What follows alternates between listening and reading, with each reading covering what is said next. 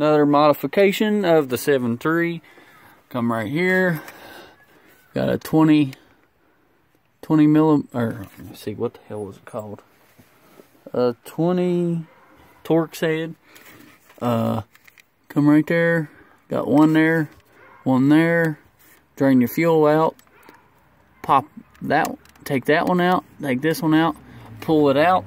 And then in the bottom of it, you'll have this at the very top and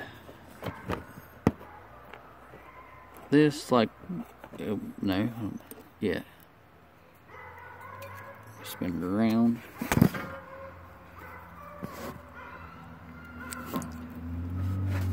This will be sitting in there like this in that piece. And when you screw the fuel filter down it can brax that spring but you can take all this shit out and it'll help it run better get a little bit more fuel pressure. Yep. Well there's another little one for y'all.